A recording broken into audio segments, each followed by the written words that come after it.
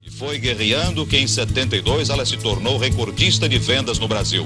Em 74, o long play Alvorecer vendeu mais de 600 mil cópias. Eu sou a tal. Clara Nunes colecionou diversos troféus de melhor cantora, dezenas de discos de ouro e seu canto de fé alcançou terras distantes como Alemanha, Suécia, França e Japão, onde lançou sete LPs.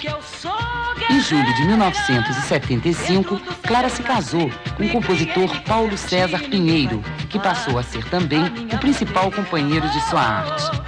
Com o coração feliz, o sucesso logo se consolidou.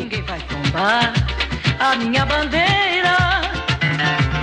Eu não, não gravo música para vender. Eu gravo músicas com músicas maravilhosas, com os compositores excepcionais que nós temos, com mensagens também extraordinárias e procurando levar para aquele público que, que ainda, sabe, não, não, não, está bem entrosado com a música popular brasileira, com, que está acostumado, é, devido a mil coisas, a ouvir rock, a ouvir coisas estrangeiras, ele se voltar mais para a música popular brasileira, para a raiz da música popular brasileira. Ela sempre teve uma preocupação muito grande com a carreira de intérprete, entendeu? De solidificar a intérprete, a artista na concepção da palavra, né? Vendas para ela era uma consequência desse trabalho.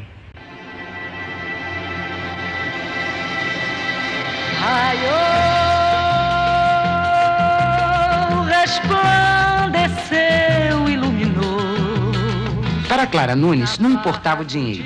Sua obsessão era cantar e tornar as pessoas felizes com seu canto. E para melhor realizar seu objetivo, Clara batalhou e conseguiu ter o seu próprio teatro no Rio.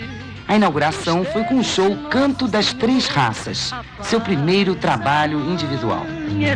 sobre o país. Foi um trabalho que eu tive grandes amigos, grandes pessoas que me ajudaram muito eu era uma pessoa assim muito revoltada com tudo, sabe? Eu era muito amarga. Eu tive pessoas que me ensinaram a amar, me ensinaram a conhecer melhor as pessoas. Então é uma infinidade de pessoas que eu não posso agora citar. Mas eu hoje sou uma pessoa muito diferente, muito consciente, mais consciente e mais feliz. Porque eu acho que o que há de verdadeiro, o que há de mais puro, que há de mais sincero e mais espontâneo, sabe? Que a força realmente é o povo. Então não adianta você querer ir contra o povo. Você tem que chegar a ele, sabe? Você tem que trazer o povo até você. Então, para mim, Clara Nunes, o povo é tudo. Foi a primeira mulher a ultrapassar esse número na história da música popular brasileira. O samba está de luto. Com a morte de Clara Nunes, a portelense mais famosa da escola, Madureira chorou. Um problema numa cirurgia de varizes calou a voz da guerreira. Seis horas depois da morte de Clara Nunes, o corpo chegava aqui, na quadra da Escola de Samba Portela, em Madureira. Na saída, aplausos e a batida saudosa de um surdo.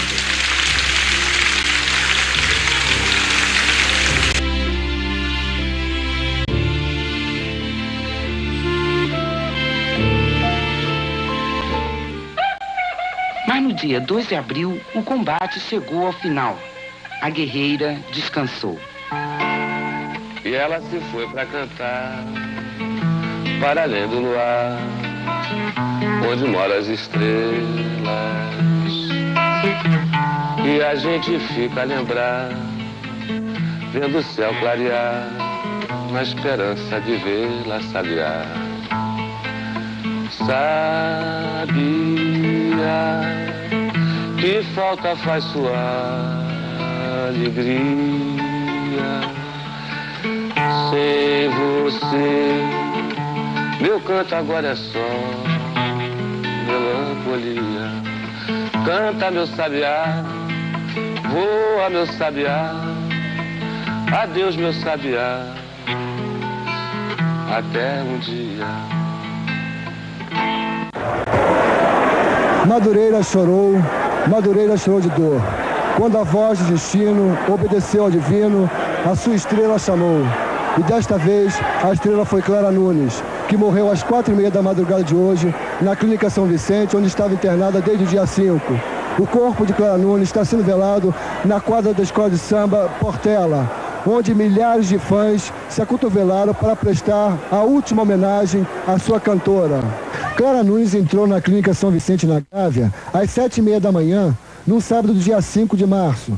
Às 10 horas e 5 minutos da manhã, Clara Nunes deu entrada na sala cirúrgica de número 3 da Clínica São Vicente, onde se submeteu a uma cirurgia de varizes pelo cirurgião Antônio Vieira de Melo e anestesiada pelo anestesista Paulo Outran Filho. Às 12 horas e 30 minutos, as portas do CTI da Clínica São Vicente foram abertas para receber a paciente Clara Francisca Nunes Pinheiro, em estado de coma profundo e com uma lesão cerebral, que poderia deixá-lo, caso sobrevivesse, com várias sequelas e definitiva impossibilidade de cantar. A partir daí, a música popular brasileira começou a perder uma de suas melhores e mais queridas vozes. O drama de Clara Nunes não só comoveu toda a classe artística, como também comoveu o país, principalmente seus fãs.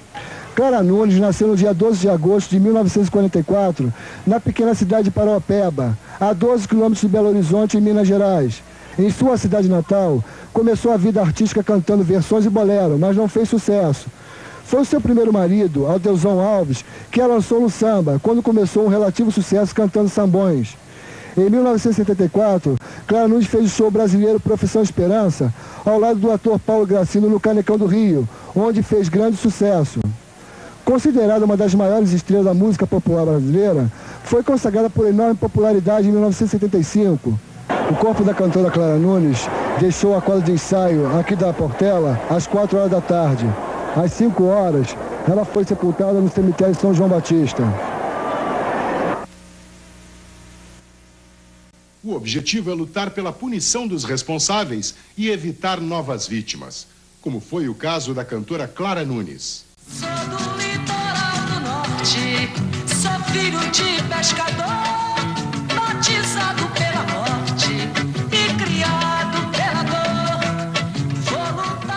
A cantora Clara Nunes sempre teve que lutar. Venceu com garra todas as fases de sua vida e profissão e se tornou conhecida como Clara Guerreira. Mas um dia sua determinação não seria suficiente para superar um obstáculo. Foi no dia 5 de março de 1983, quando ela se internou numa clínica do Rio. Clara ficou em coma profundo durante 28 dias. No dia 2 de abril, a guerreira morria sem ter conseguido sair do coma. Ai, quem me dera terminasse a espera, retornasse o canto simples e sem fim, e ouvindo o canto se chorasse tanto, que do mundo pranto se estancasse enfim. Ai, quem me dera ver morrer. Clínica São Vicente para se submeter a uma simples operação de varizes. A previsão era de que Clara sairia daqui no dia seguinte, ou seja, domingo à noite. Mas por obra do destino, como dizem alguns, ou por erro médico, como afirmam outros, um choque anafilático, seguido de duas paradas cardíacas e consequente lesão cerebral, colocaram a cantora, aos 40 anos, em estado de coma. Durante 28 dias, Clara Nunes ficou em estado vegetativo e dia 2 de abril, exatamente há um ano, Clara Nunes morreu. Foi aberto um processo para descobrir as verdadeiras causas da morte de Clara Nunes. O caso foi julgado pelo Conselho Regional de Medicina da Bahia.